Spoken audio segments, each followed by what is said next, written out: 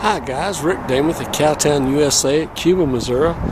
Here with a really clean, and I think I can add the word really clean on this trailer. 2017, two horse, it's obvious, two horse slant, bumper pull, all aluminum Featherlite. It's got an extended tack room on it, kind of bring you around here.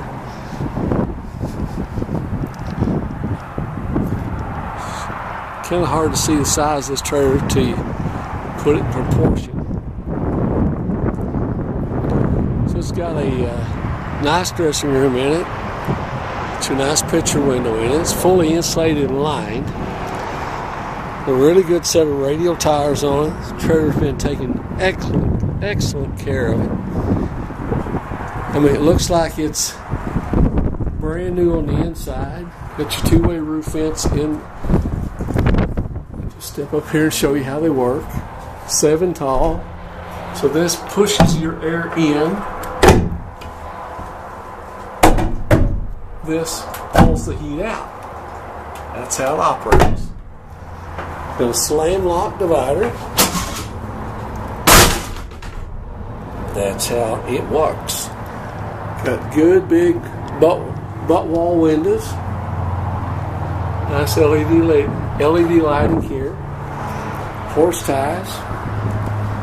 You can see here as you go down the road, if you if you choose to do this, you got bars that let the air in, but you can't stick their head out.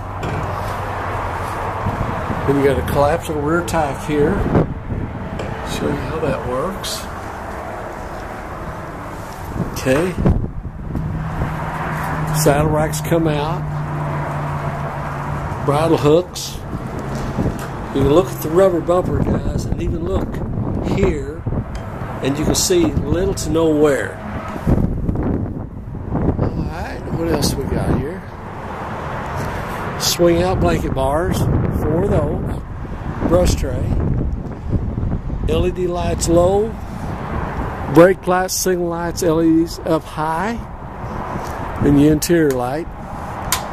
Be hooked to your truck for that to work. Again, fenders are perfect. There's your face bars we were talking about. Just sliding windows here. Let some air in. Easy to open. Horse ties. Inside, outside. Fully armor plated. See right down the side of this. Okay, you have your good latching system here on the latches here on the top and bottom. Okay, then you're going to come here, take you into the tack room.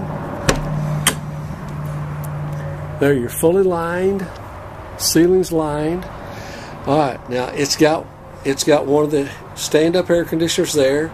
It's got your little refrigerator in it. It's got a porta potty in it. I mean, it's nothing fancy, know. And if you want fancy, we got it. We got that as well. But if you're just wanting a kind of uh, what they call a weekender setup, this trailer would be the one for you to look at.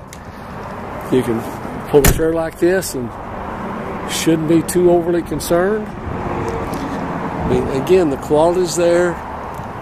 Condition is is really nice. So give us a call at Cowtown USA, Cuba, Missouri. Cowtown USA, Cuba, Missouri. 573 885 6300. 573 885 6300. Go on our web, cowtownusainc.com. Cowtownusainc.com. Thank you.